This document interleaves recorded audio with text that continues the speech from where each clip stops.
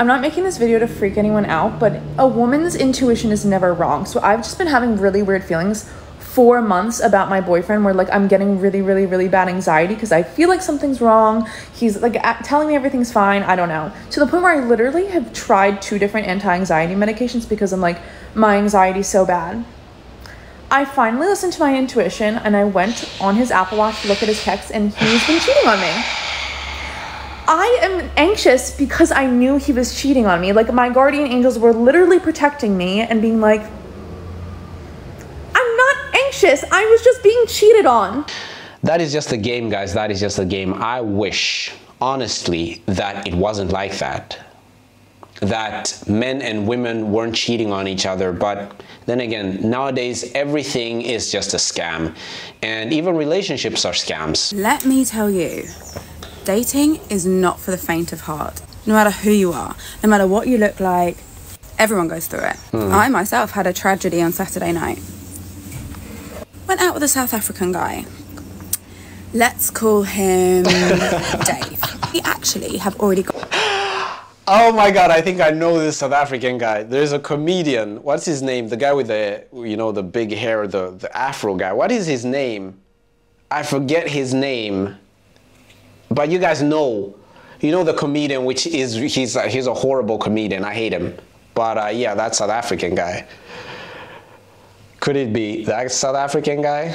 on on the first date seven months ago was actually a vibe.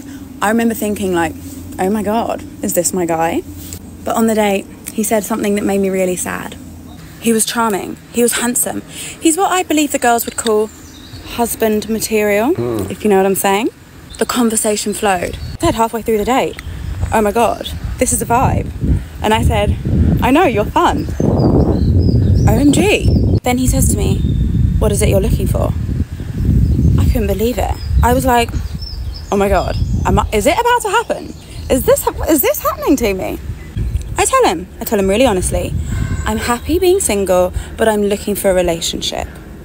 I want to be in a monogamous, committed, faithful relationship. He agreed. That's the kind of a relationship he wants too. It's Trevor Noah. That's the guy that I'm thinking of. It must be Trevor, because he was dating Dua Lipa. Dua Lipa is like my dream girl. And then I ask him, What do you want? And then he girls, he said, He's looking for casual. At the moment, he's not looking for a relationship. Okay. Okay, respect. Respect, he told me. Whatever. I've seen this a lot with women when a man is honest about what he wants, they don't like that. It's almost like they want men to continue playing games. If this was vice versa and she said something like this, right? Where, oh no, I'm just, I'm not really looking for a relationship, I just want it to be casual. If we said anything about that, oh my God, we'll probably get canceled. So I'm just like, you gotta keep the same energy. You have to. But honestly, the vibes were so good. Let him kiss me that day. Not a big one, just a little peck. Like, we continue texting, and this is where Dave really ruins it. Two days later, he texts me at 10 pm asking if I'd like to join him for a nightcap. There's casual, and then there's casual. Also, at this point, I'm a 32 year old woman. I'm sober. At what point do I want to join you for a nightcap? It broke the fantasy, it broke the excitement. I text him a couple of days later saying, Listen, I think we're wanting different things. He was respectful. I think he kind of admired the way I said, You know, you're handsome and charming. Sure, you're not going to find it hard find a girl to match your pace. He said I was stunning and really nice and really lovely, and that he was sure I would find what I wanted. We parted ways. We didn't follow each other on socials. There was zero communication. This is 100, 1000% Trevor Noah. This is about Trevor, bruh. One, 1000. I kind of forgot he was alive.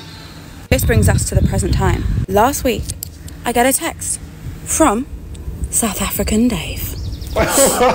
he wants to know how I am, what I'm up to, and what I'm looking for Oh, at this point. Jesus. My imagination kind of runs wild. He asked how I am. He asked if I'm single. He He probes into my dating life. What am I looking for? I say the same thing. I'm happy being single, but that I'm open to a relationship. I ask him, Are you still on your casual only vibes? And then he said, I'm somewhere in between casual and looking for love. Hmm. What does this mean? And why are you texting me seven months later after we first meet? Are you looking for a relationship and you've just remembered me? Little old me? We set a date. Saturday night. He wants to go for dinner. I wear my cutest outfit. I did my hair and my makeup perfectly, but as if I hardly had any on. It's crazy how they change the whole demeanor when it comes to popular people. Oh, we don't follow each other. She, she has to put it out there, but it's just subtle. Mr. South African. Come on, who's the biggest comedian which comes from South Africa? Wore this jacket. H&M baby. I meet him at the restaurant. He's as handsome as ever. Even more charming than before. We were smiling. We were laughing. Then, he says, out of the blue, I didn't even ask him. You'll never guess what he said. Uh, I'm just looking for casual.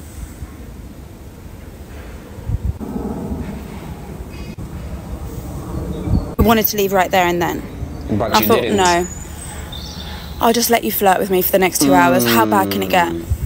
Spoiler alert, it gets worse. Towards the end of the date, we're chatting. I'm letting him flirt with me. What's the harm in that, I think? And then he says to me, want children? Bit forward for someone who's just asking for casual, but sure. I said, Yes, I do want children. And then I got brave and I said, That's a big reason why I'm not looking for casual. And then he said, Wait for it. Bearing in mind, I barely know this man. He said, in his South African twang, I'll never guess what he said. These words verbatim. Better freeze those eggs, girl. What? You said what? What? And I like saying to him, What do you mean freeze my eggs? I'm on a date with a guy I've already told I'm not looking for casual. This man is older than me. Would really get into feminist politics here, discuss misogyny, blah blah blah blah. That's not the point of this video. I didn't get annoyed. I didn't get angry.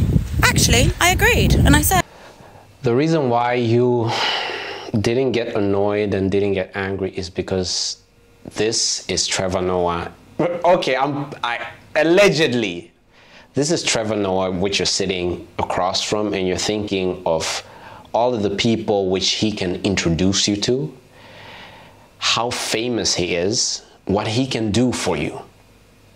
Because if this was just a random guy which you were talking to and just this guy said something about oh I want casual and this she would not care. She would just be like, "Oh, okay.